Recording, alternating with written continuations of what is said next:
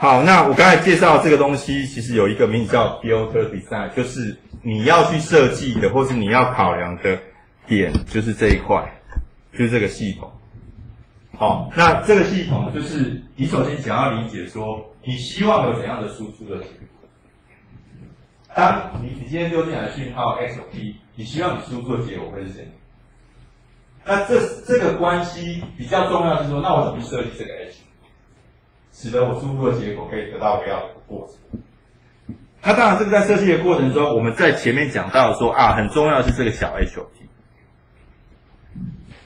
OK，那经由这个 Fourier 控的公式，其实我会要设计的变成是这个大 H。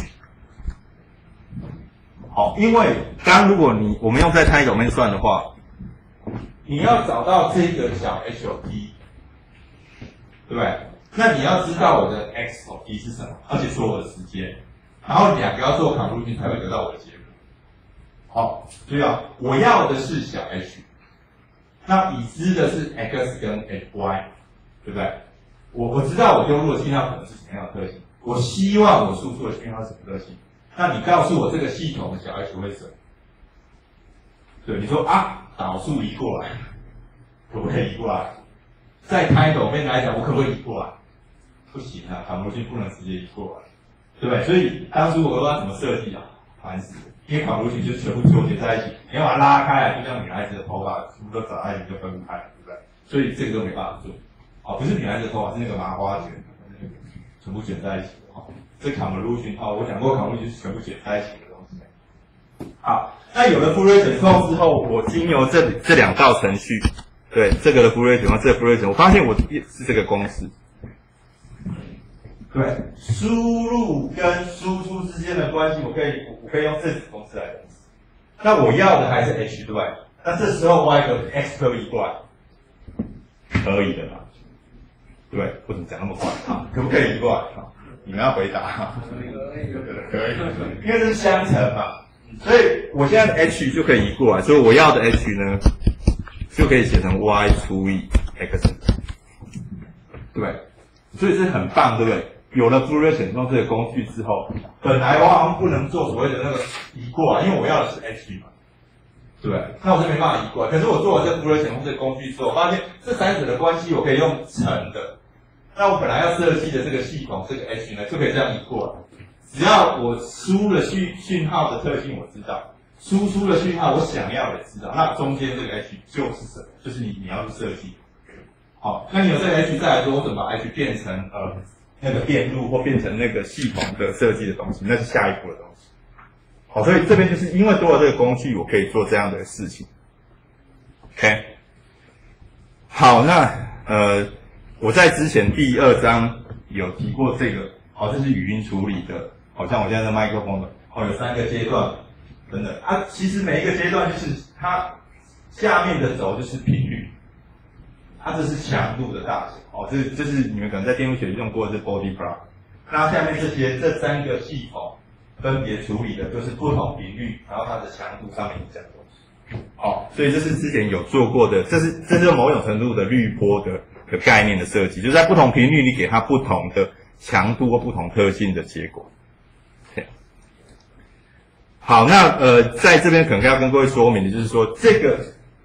我刚才提到说，我经由 Fourier 选中的工具，我会知道我要设计的系统之间的关系，跟输入还有输入之间的关系。那当你有这个下一步之后，那我怎么设计这个系统？就是这个嘛，对吧？我们之前在讲的系统，就是用这个什么 RC 呀，然后两个去弄出一个微分方程式出来。那这个微分方程式呢，你可以写出来哦。这以后这个系统是一个一阶的系统。然后你会算出来说它之间的关系，好，这个 impulse 这个我们算过嘛？这个一阶系统的 impulse response 就是这个 exponential 负 t 对不对？那它对应的 Fourier 状，好，你可以算一下这个 exponential，所以它对应负的是 j omega 下 OK，所以这两件事情就勾在一起。我我有了 Fourier 状之后，我就可以很方便的设计这个。那我设计的其实是这一个，好，h o j omega。好，那这个就现在我看起来像这样子，哈，像这个 case 来讲，看起来像这样子，好，有呃有点像我刚才讲那个低空滤波器，理想的，但不太理想，好，因为这是实际的，所以不是一个真的方波，就像这种山坡。啊，这是真正的低低通的滤波器。刚刚画那个是 ideal 的，那是世界上不存在的低通滤波。啊，这是事实上啊，这是真的存在，就这个一阶的 RC 电路的。好，所以你有这样的想法，然后你设计这个东西，你就会回还原说，那我设计出来电路是上面的这个 RC 的设计的东西。好，那我们之前也做过，在开头面是这个 input 上，就是这个可能一个慢慢配的东西的结果。好，所以这个是呃在做设计的时候有这样的概念的东西。好，好，最后我用一个例子来解释我刚才想要讲的这个情况。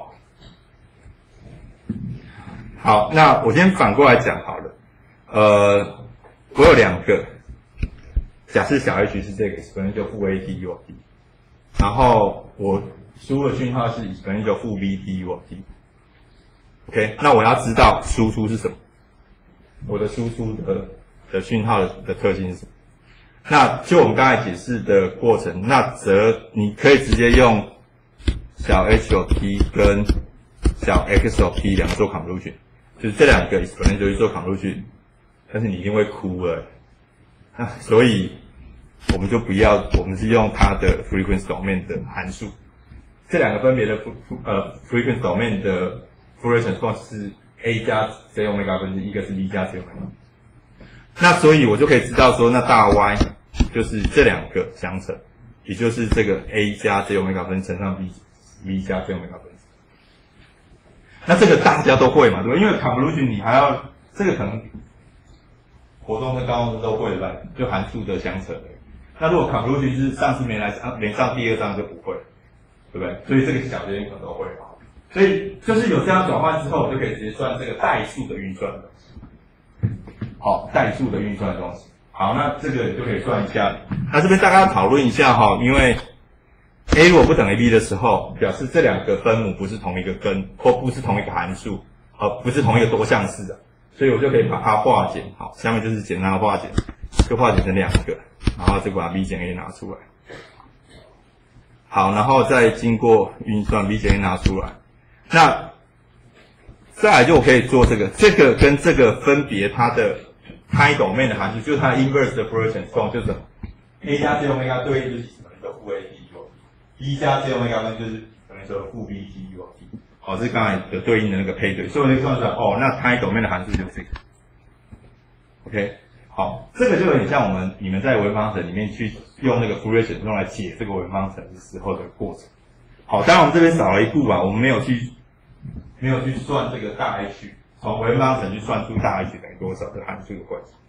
OK，好，那另外一个 case 是如果 a 等于 b 的时候，那这个会变成 a 加 j omega t 方的值，对吧？如果 a 等于 b，那刚才那个分母就会变成是平方向的关系，是不是？好，那呃，那它的 inverse 的 fraction 是什么？就是小 y of t 是什么？好，那这个稍微有点小技巧。首先，哦，刚刚有一组是首先就负 a d 有，它的 fraction 是小 a 加 j omega 分之。然后如果你把左诶右边这个 fraction 对频率做微分，然后再乘上 j，这个对频率做微分乘上 z，好，在 omega 轴面微分等于在开轴面乘上 t，对，然后乘上还要乘上一个负一负 z 啦。如果会查那个公式，那我现在要乘上 z，所以前面有一个负 z 乘上 z 就是变 t。那右边这一项就是这个对它做微分，它的微分就是 a 加 j 欧米伽平方分之。哦，那就是我要的。所以我的 y 的 t 其实就是右右边这一项，就是原来的这一项前面乘上。好，原来这一项乘上。好，这个你可以自己去运算一下那个微分或什么去运算的关系。所以这个是如果它一样的时候，那你的 y。其实就等于后面这一项的关系式的结果。OK，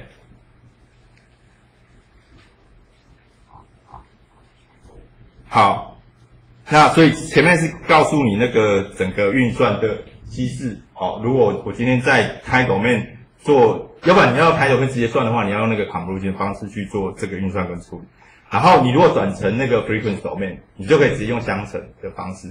好，那这边大概有一个你要记得是说，首先我们我们其实多做两件事情，本来是开方选直接做 convolution，但是有点复杂，因为 convolution 这么算来算去有点复杂，所以你想办法做了 Fourier 控这件事情，然后把它转成 frequency domain，然后 frequency domain 再做所谓的相乘就好，就不用做所谓的 convolution 的形式的结果，这是可以简化的部分。OK，好，最后一个问题，好，这个一样，就是我现在如果输入的函数，输入是这个 sinc function。系统是这样的一个 sinc 方选的形式的时候，那输出的结果是什么？好，那你一个记得，a 其实就是这两个相乘，对不对？那你说 a 上面那个好像很丑，我刚才已经特别念，那叫 sinc 方选，所以它 sinc 方选其实不丑，它的 frequency domain 是很漂亮的，哈，就是这两个方坡的哈函数，好，它写出来就是用数学式写出来就是这样，OK。那我们刚才讲过，其实它等于 frequency 这两个相乘，那这两个方坡相乘就看谁比较小，对？这两个相乘得到的结果其实还是一个方波，那这个比较小就是 minima 的 wi 或 wc，对不对？这两个方波相乘留下来的还是一个方波，那到底是谁？就是看这两个谁比较小，对，就得到这样子结果。好，所以很简单，所以你的那个 y 好，就是大 Y of the omega 也是一个方坡，则它的大哎小 x of y 就是另外一个 sinc 方程，对不对？那 sinc 方程的值，这个频率值呢，就是这两个看哪一个比较小，反正就是代因对应的这个关系。好，你会发现说，呃，有了 Fourier 选送之后，我们在做这样的一个系统分析的时候，就不用去算那个那个 convolution。